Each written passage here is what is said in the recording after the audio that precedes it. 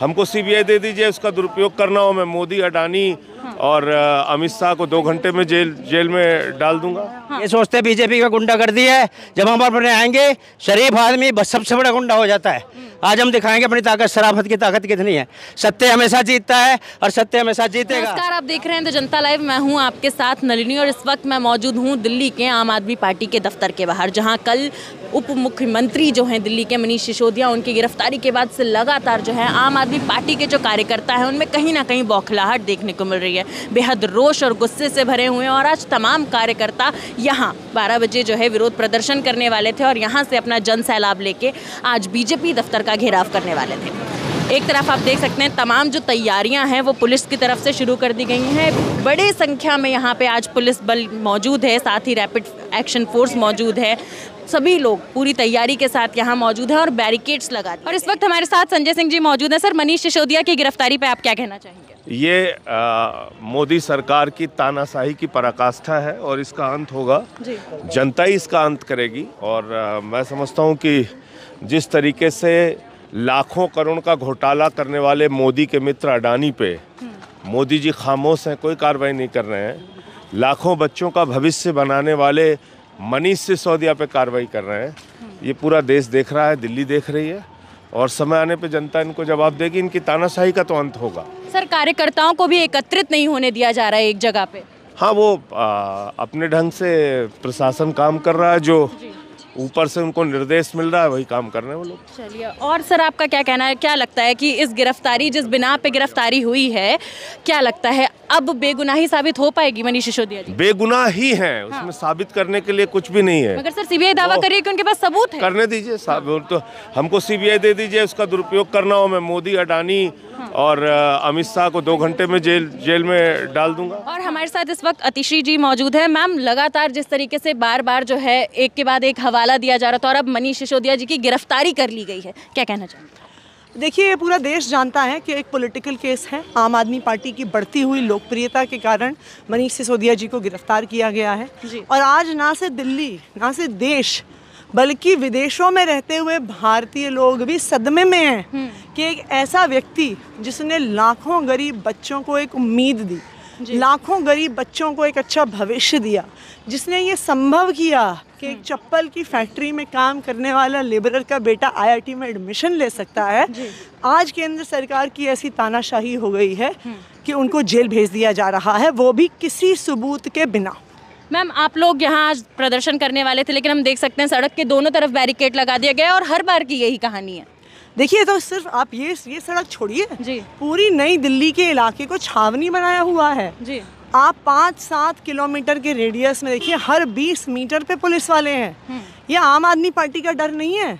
ये इस देश के आम आदमी का डर है। इस शहर के आम आदमी का डर है क्योंकि उन्हें पता है कि पूरी जनता देख रही है कि कितना गलत हो रहा है। एक मनीष सिसोदिया जी जैसे व्यक्ति को अगर जेल में डाला जा सकता है तो इससे ज़्यादा तानाशाही क्या हो सकती है?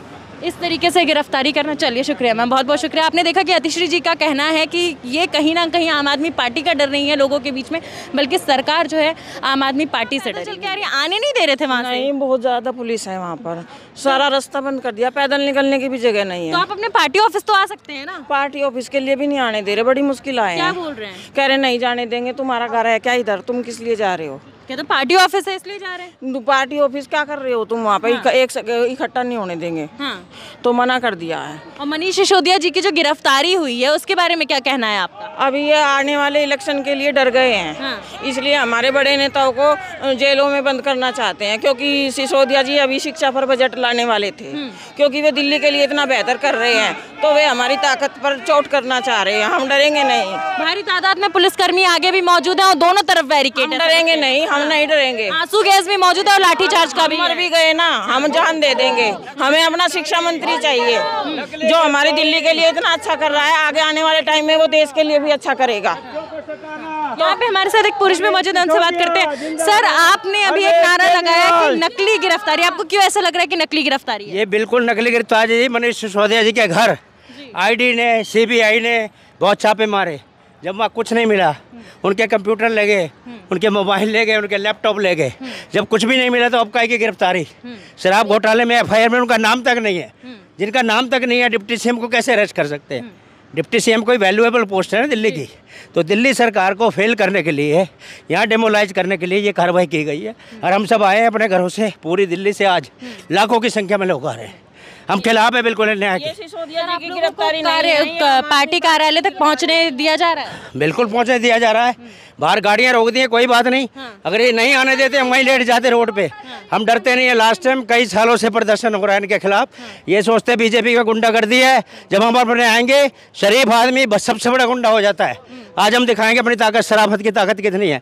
सत्य हमेशा जीतता है और सत्य हमेशा जीतेगा। ये प्रधानमंत्री ढंग का काम करे ना।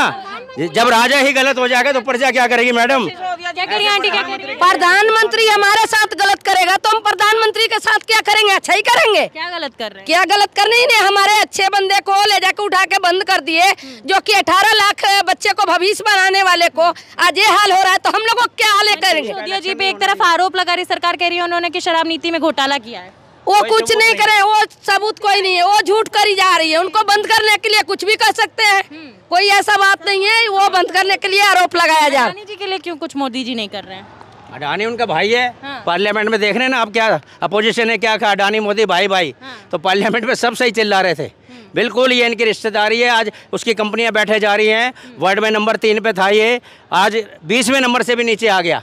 तो ये बैंकों का पैसा खाया हुआ है। अडानी ने भी घोटाला करा हुआ है दिखाने के लिए कि बैंकों का पैसा ना लौटाना पड़े। इसलिए अडानी का जी घोटाला दिखा दो। घाटा हो गया शेयर गिर गए फलाना हो गया। ये सारा लेके उसी तरह भागेंगे जैसे वो क्या नाम है वो? किंग फिशर वाला भागा था ना? ऐसे ये भागेंगे यहाँ देश छोड़ छोड़ के अंबानी वगैरह। ऐसे ये भागेंगे मोदी है अंबानी है और कई हैं। ये सब भागेंगे अब देखना छोड़ छोड़ के। अच्छा। क्योंकि जनता जागरूक हो रही है मैडम। दिल्ली में आप पार्टी का राज है पंजाब में आप पार्टी आ गई है गुजरात में दस्तक दे दी है हमने हिमाचल में दस्तक दे दी है अब। अब देखिए लड़ाई लंबी है मीडिया का धन्यवाद। आप हमारी बात जनता तक पहुँचाइए और सच की आवाज़ दब नहीं सकती कभी भी। मैम आपका क्या कहना है? लगातार एक के बाद एक नज़ारे देखने को मिलते हैं। पहले आम आदमी पार्टी का मेयर नहीं बनने दिया जा रहा था। जिस दिन मेयर का चुनाव हुआ फिर एमसीडी जो भवन है वहाँ पे मारपीट देखने को मिली। ये बीजेपी की गुंडागर्दी है। क्योंकि बीजेपी को हार बर्दाश्त नहीं हो रही है। पहले तो पंजाब, फिर उसके बाद गुजरात में खाता खुल गया, उसके बाद दिल्ली का इलेक्शन में देख लिया। तो बीजेपी कहीं ना कहीं बौखलाई हुई है और उसको समझ में नहीं आ रहा कि कैसे। नहीं तो मेयर का चुनाव होना दिल्ली में पहली बात के बार क्या पूरे इंडिया में ये पहला हमारे इतिहास में एक पहली ऐसी होगी कि मेयर के इलेक्शन में इतनी ज़्यादा गुंडागर्दी मचाई है और वो भी सिर्फ़ बीजेपी वालों ने। मारपीट के नज़ारे देखने को मिल रहे थे मारपीट के नज़ारे देखने को मिल रहे थे महिलाओं पे दिख रहे थे इस तरह की और आज एक शिक्षा मंत्री जो इतने बच्चों का भविष्य बना रहे हैं उनके साथ ये गलत काम किया गया। तो आज। पूरी बच्चे जितने भी हैं उनके पेरेंट्स से लेके सारे लोग इस चीज़ के खिलाफ हैं और रोड पे उतरे हैं कि एक ऐसे व्यक्ति को जो बच्चों के भविष्य के बारे में सोच रहा है और इस तरह गिरफ़्तार करना वो बहुत गलत बात है। बाहर की तरफ़ से आ रही हूँ तो आपसे जानना चाहूँगी वहाँ कितने कार्यकर्ता मौजूद हैं बैरिकेड की उस तरफ़? बैरिकेड के बाद भी काफ़ी लोग हैं क्योंकि गाड़ियों से आने नहीं दे रहे। हम लोग तो गाड़ियाँ छोड़ के और पैदल आ गए क्योंकि हम हमारे शिक्षा मंत्री के खिलाफ नहीं सुन सकते जो हमारे बच्चों के लिए और हमारे देश के बारे में सोच रहे हैं। बहुत बहुत शुक्रिया आपका। और लोगों से बात करने की कोशिश करेंगे जानने की कोशिश करेंगे कि वाकई जो पूरा मसला है वो है क्या? यहाँ पे और भी कार्यकर्ता मौजूद हैं उनसे बात करते हैं। आपको पता है कि मनीष जी ने शिक्षा के क्षेत्र में जो काम किया है दिल्ली में पूरे भारत में पूरे देश में उनका डंका बज रहा है आज की डेट में। अब ये लोग क्या कर रहे हैं बीजेपी वाले शिक्षा को शराब की तरफ़ जोड़ रहे हैं। शिक्षा को शराब से जोड़ रहे हैं। इनको पता है कुछ नहीं है। पिछले एक साल से ज़्यादा का समय हो गया इनको बुलाते बुलाते पूछते पूछते लेकिन आज तक कुछ नहीं मिला। अब ये शिक्षा को बंद करके शराब की गिरफ्तारी किस बिना पे हो गई सर? अब ये तो ये तो कोर्ट बताएगा कि किस किस तरीके से गिरफ़्तार कर रहे हैं क्यों कर रहे हैं। शिक्षा मंत्री को शिक्षा का काम नहीं करने दे रहे। बजट पेश होने वाला था उसके लिए उन्होंने समय मांगा था। उसके लिए उन्होंने समय नहीं दिया उनको बुला लिया गया। कह रहे बहाना बनाने की कोशिश की गई थी कि कहीं ना कहीं मुद्दा दब जाए इसलिए जो है बजट का बहाना दे रहे थे मनीष बजट का बहाना नहीं है। आपको भी पता है कि बजट पेश होना है और बजट में हर वर्ग का ख्याल रखना पड़ता है किसको क्या देना है किसको क्या नहीं देना है। इसलिए उन्होंने समय मांगा था। लेकिन ये शिक्षा को बंद करके शराब की तरफ़ ले जा रहे हैं समझ लो। शिक्षा को खत्म तो हो गई है अब अगर नहीं छूटते हैं नहीं साबित होता है कि वो बेगुनाह है तो आप लोगों का अगला कदम क्या होगा? हम लोग अभी अपने पार्टी शीर्ष नेतृत्व का इंतज़ार कर रहे हैं। वो लोग जैसा आदेश करेंगे, उसके अनुसार काम करेंगे।